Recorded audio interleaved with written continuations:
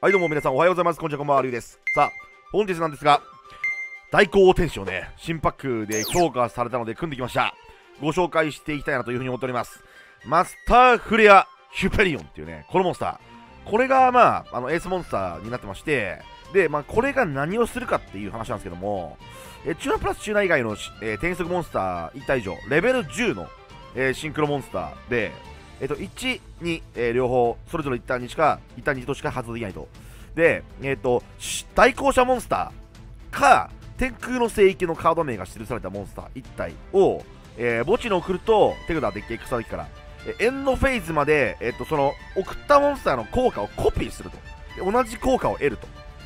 まそういうね、えー、効果になってまして、で、相手がカードの効果を発動すると、自分の手札墓地から転速モンスター一体を除外すると、フィールドのカードを除外できるよという。まあ、要は、えっ、ー、と、展開もできるし、妨害もできるという、あまりにも素晴らしいモンスターになってるんですね。で、このモンスターを今日は活躍させていくデッキという風になっております。でですね、えー、デッキの中、まあ、展開は対戦動画を見ていただければわかるんですけども、一番初動が一応ですね、まあ、2枚ありまして、えー、とまず1枚目が、えー、デクレアラディバイナーですね。えー、で、2枚目が一応この大行者ヴィーナス。この2枚。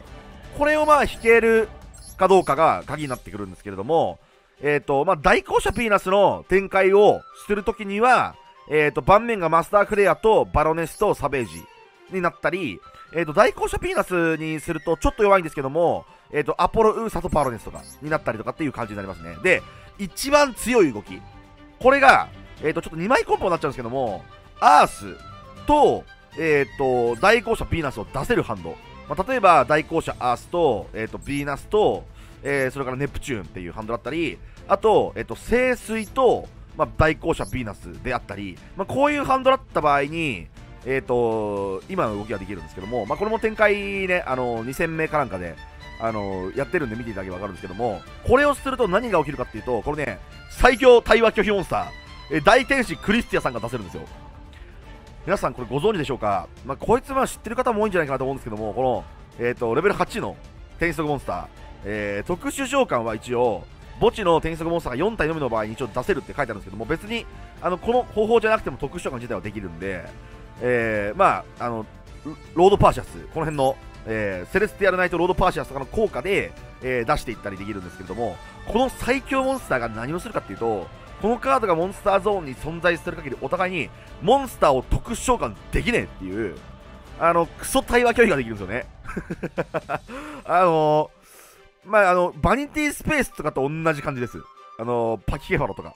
あの辺の効果と同じ。もう特殊召喚できない。しかもこいつ打点がすげえ高えからこいつを出してもう完全に制圧してしまうっていうことができます、はい。まあ、今回はこれをやっていきたい。で、えー、っと、それをやっていく動きが、まあ、あのー、この辺のモンスターたちになってくるっていう感じですね。はい。で、えー、っと、破壊穴とか抹殺を入れておかないと、まあ、手札殺全部食らっちゃうんで、まあ、このデッキそんなに安定感がないんですよね、そこまで。なので、まあ、やっぱり、あの、絶対通すために展開力もそこまでその、止められちゃうと厳しいので、まあ、墓穴とか抹殺を使って、まあ、ニビルとか、エフェクトベーラー無限包容、まあ、ウララ増字あたりの、まあ、手札をケアしていくっていう感じですね。完全に展開を先行にガンブレしてきましたんで、早速ね、クソゲーをお見舞いしていきましょう。デュエル、スタンバイ。このフィールド結構かっこよくていいよね。デュエルフィールド。新しくなんか追加されたやつ買ったんだけどさ、めちゃくちゃ強い。まあ、これとりあえず、えー、っと、金券で初動札引けなかったら負け。やっぱりちょっと若干ね、初動に安定感がね、あの必要ですね、このデッキは。ちょっとね、あの初動が不安というか、初動札足んないというか、まあ、1枚初動がやっぱ2種類しかないので、ああ、まあ、デクララディバイナー来たら、まあ、加えられるんだ、でかいね。はい。デクララディバイナーの、まあ、今回のパターンは、デクララディバイナーを使って、まあ、展開していく方法をお見せしましょう。で、デクララディバイナーの効果発動。ディバイナーの効果によって、転速モンスターをデッキから墓地に送れるんで、えー、とここで、まあ、大校舎命の大校舎ネプチューンを墓地に持っていきましょうこれあの除外するとあの聖域を持ってくれるんですよね。天空の。でヒエアルキア特殊まあ、裏が多分ないと思うんで、まあ、ここを通るでしょう。でデクララディバイナー効果えー、出来方あできたじゃん手だから豚を出せる。引いてんのが俺弱まあでもこれでレベル10のシンクロ召喚可能俺はレベル9のトリアスヒエアルキアにえ豚をチューニングブヒブヒブヒブヒブヒブヒブヒブヒブヒ行けマスタークリアヒュペリオンかっけイケメン。最強。でマスタークリアヒュペリオンの効果発動このカードはデッキエクストラデッキから転速モンスターを墓地に送ってこの効果をコピーする。あ転速というか、まあ、天空の聖域から大校舎モンスターを墓地に送って効果をコピーする。そしてこの金の玉を製造するモンスターの効果をコピーしたことによりホーリーシャインボールをなんとフィールド上に3体も呼び出すことができる。なんて強いんだ。まあ、転速デッキはね、ここにアクセスできるかどうかっていう、まあ、ここにかかってる全ては、全てはこれ、全てはここから始まる。大校舎のこの絵、ムーを、えー、ボールボールで、リンク召喚。そして、ムーンのリンク召喚成功時、効果発動。リンク召喚に成功した場合、デッキから墓地に転速モンスター、マジェスティ・ヒュペリオンを墓地に送ることができる。そして、小豚の効果発動。小豚くんの効果によってフィールド上の天使族モンスターをチューナー化するぜこのレベル2にチューナーすることによって、まあ、例えば、えー、と今のでなんかあのー、マジェスティ蘇生してレベル10シンクロでバロネスとかあのそういう動きができたとかあとここハリファイバーができたりとか、まあ、こういう動きができるすごい器用ですねブーテンは。でハリファイバーの効果発動ハリファイバーの効果によってデッキからオライオンを特殊召喚。そして墓地で存在するマジェスティヒュペリオンの効果発動墓地で存在する代行者モンスター1体をゲームから除外することにより自身を特殊召喚。そしてネプチューンが除外された場合の効果発動ネプチューンは除外されると天空の聖域を手札に加えることができる。そしてレベル8のえっ、ー、とマジェスティヒュペリオンにレベル2のオライオンをチューニング。現れよこれが最強の代行者。破壊の代行者。フルールド・バロネス。そして、えー、ボーチネス、えー、オライオンの効果が発動して、なんかトークンが出る。これでエンドだ。ちなみに今何妨害あるかっていうと、えっ、ー、と、マスターヒュペリオンの効果で除外してる効果があって、1妨害。で、えっ、ー、と、この失われた聖域の効果によって、えっ、ー、と、モンスター効果1回無効にできるんで、まあ、それは2妨害。で、バロネスで3妨害。えー、で、えっと、ハリファイバーの効果でシンクロ召喚できるんですよ。あの、相手団にシンクロチューナー出してね。で、これで、えっ、と、レベル5のシンクロチューナー出してきて、えっ、と、シンクロ召喚できるんで、えっ、と、5、6、8シンクロができるんですよね。だから、ここで、えっ、と、あれです。あのサベージ出して、えっ、と、4妨害です。一応。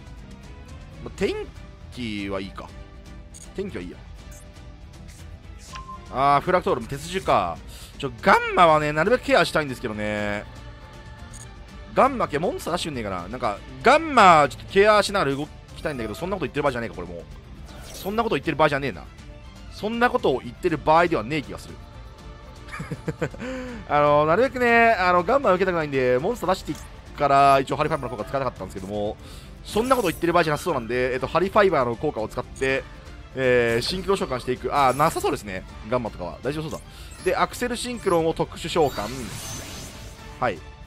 で、アクセルの効果で一応相手さんシンクロができるんで、これでシンクロ召喚していきましょう。フラクトール止めちゃった方が良かった気するな。あのー、すみません、あの鉄銃も僕組んでないので、止め止め方いまいち分かってません。環境テーマあんま分かんねえんだよなマスターデュエル実況者として、あの、恥ずべきだと思うんですけども、環境テーマの動きあんま分かってないっていうのがやばい致命的な弱点がありました、私。これは、えー、っと、縦でいいかも。ライトニングストームも打てないしな。縦でいいや。えー、っと、サベージ縦出し。で、サベージ効果発動。あ、先にキットか、OK。キットでナーベル送って、ナーベルでケラス持ってくるまでは把握した。OK。そこまでは俺も知っている。だナーベル効果で、さらにバレルロードサベージドラゴンの効果を発動して、えー、墓地からリンクモンスターを装備し、相手が発動した効果を無効にするという効果を持っている。これで一応4妨害ですね。えっ、ー、と、バロネスのワンデモ無効、あ、破壊、無効破壊、えサベージの何でも向こう、えー、っと、ま、マスターの除外、それから、えー、っと、失った聖域の向こうっていう感じなので、まあ、質的にはやっぱバロネスが一番強いですけども、まあ、割と強い盤面ではありますね。十二支ラム。あー、オッケー。十二支鉄銃か。鉄銃はですね、あのー、あれやばいな。あの、アーゼウスやばいな。アーゼウスやばいな。アーゼウス大丈夫か？アーゼウス出てくるとだいぶやばいぞ失われた聖域とバロネスとサベージとかで無効にしないとあれ素材やばいこと起きますよね。これ全部吐かされるかもしかして。やばい。ちょっとざわついてきた。なんかあの 12C ってさ無限にさ上重ねてなんか急になんかあれだよね。あのー、何でしたっけ？あのー、アーゼウス立ってなんか6ストライとか5ストライ6ストライみたいなの平気で立ってきますよね。まああとエクストラがそんなにあるかっていう話あるけどちょっと頼むマジで。なんか効果使ってくれ。何が効果を使うんだ。でも効果使ったらいけるか。ドランシアとか効果使ってくれたらいけるぞ。これマスタークリアヒューペルト除外できる。破壊していいぞ。破壊していい。破壊しろ。破壊しろ。破壊した方がいいぞ。破壊しろって。破壊しろよ。くそあいつバロネスをケアしてやがる。なんで強えんだ。あニビル。いやニビルはさすがにアドソーすぎる。あまりに。フュージョンデスティニー。いやそれは無効でしょ。それは無効すぎる。バレルロード。サベージドラゴン効果。これ無効にする。1回使わされた。1回使わされた。12シシバイパー。あえ？それ効果使ってない？やった。マスタークリアヒュペリオンの効果発動オーバーレイユニットを1つ使い。相手のフィールドのカードを1枚をゲームから除外する。じゃあなワイルドボー絶対にアーゼウスはさせない。くたばりやがれ。ぴょいーん。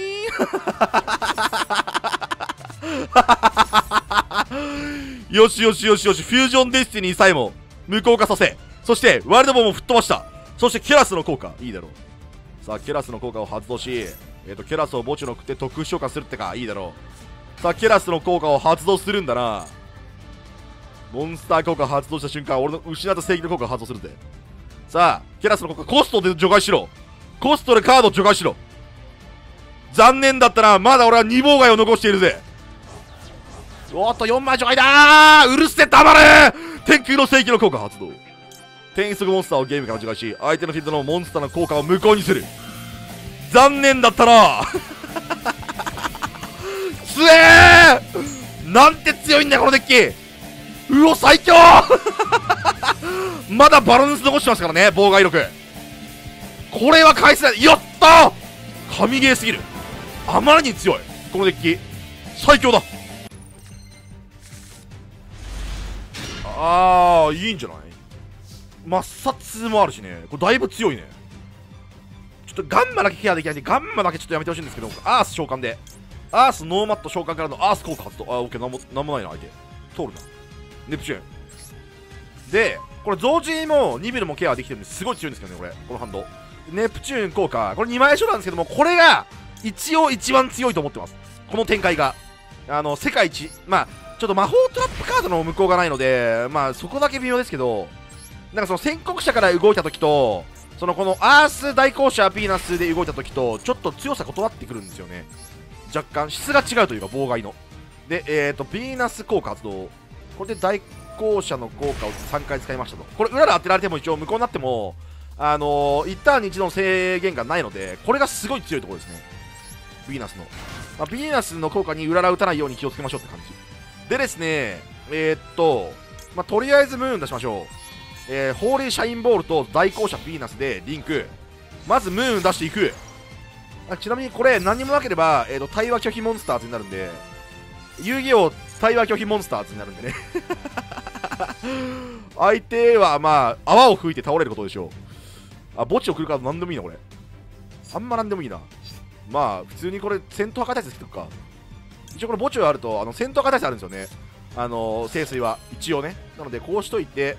で、えー、マジェスティ・ヒュペリオンの効果発動ヒュペリオンの効果で、えー、大校舎ネプチューンを除外しこのカードを特殊化し大校舎の効果発動命の大校舎は天空の聖域をサーチする効果を持っている。そして忘れないうちにこのカードを発動。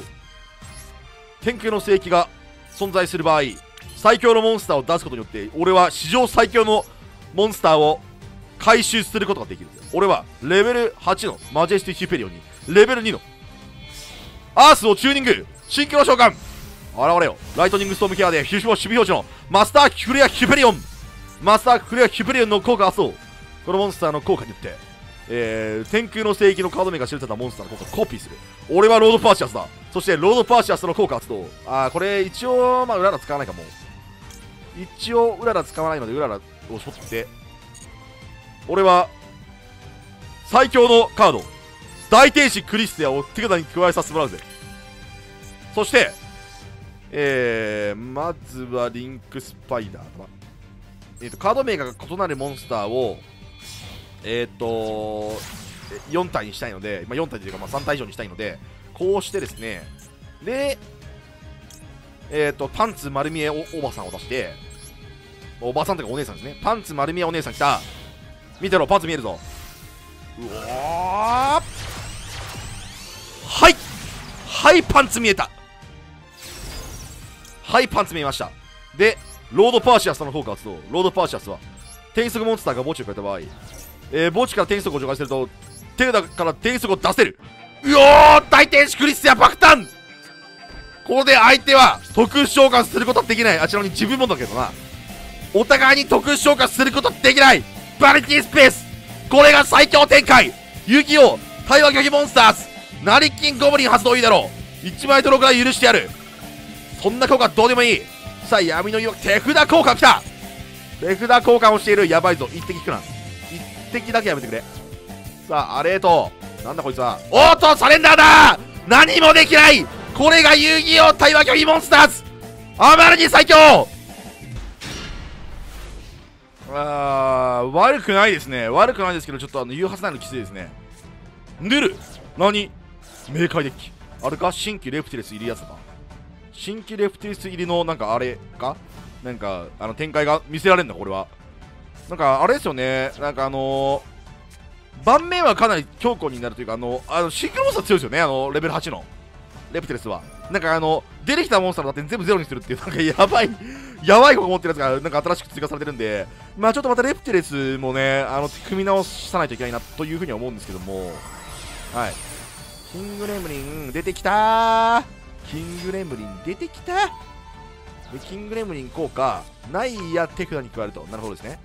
ナイヤ手札に加えてナイヤ効果でえーとさらに墓地に送っていく。これはいつものムーブですな。ああえれえ。やばいこと起きんじゃないか。マグマ。うわー。レベル8以上のチューナーとチューナー以外のモンスターが2体。ああ やべえこと起きたさあ究極原神アルティミトルビシバールキンとかいうヤバすぎるモンスターが爆誕しああああやばいやばいやばいやばいこと起きてるってやっぱね、あのレプテ冥界レプティレスのエースモンスターはもういつまでたってもこいつなんですよね。このモンスターが出てくることによって爆的爆発的なアドバンテージを稼ぐことができるんで、あー、はいはい。あの、これ展開をね、知りたい方はぜひね、あの、動画見てください、私の、あの、冥界レプティレスデッキ組んであるんで、エイリアンと合わせたやつで。あーあーあーあーああこれで5枚サーチね。はい。いいでしょう。さあ、レプティレスエキドゥーナーの効果。エキドゥーナーの効果によって、えー、爬虫類族モンスターをなんと5枚サーチできるぶっ壊れ効果 5枚サーチ頭おかしいだろどう考えても5枚サーチをやってるかなりブランコブラはいはいはいはいいいですね非常に素晴らしい展開となってます。これあれですかねあのー、えっ、ー、とエイリアンうち空取りでのあっちのゼロールだっけ？えっ、ー、とあいつが出てきて制圧してくる系のデッキなのかな？ちょどっちかわかんねえけどなんかいろいろ組み方あるんですよね。あのレプティレスもエイリアンも。はいはいはいはい。でえっ、ー、とゼロール来た！やばいこと起きた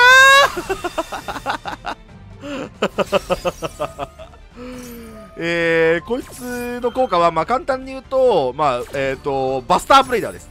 あのエイリアンカウンターが置かれてるモンスターが全部守備表示になってなんか効果発動できなくなるっていうバスターブレイダーみたいな子が持ってるんですよ。こいつがマジで立ってるとほど何もできんっていうね。あさらにやばい！レベルレベル2とレベル4のモンスター。うわー来た！わラビアだ出た5枚サーチ5枚ドロー盤面。うわー。つい。なんて強いんだ。おトレードイン。手札交換。手札交換。で、えっ、ー、と、リザードローの効果もドローしていく。トレードイン、めちゃくちゃドローすんじゃん。手札交換。さらに闇湯どんだけ引く手札交換やばいこと起きてんな。えええええ嘘でしょ？なんだこのクソデッキ。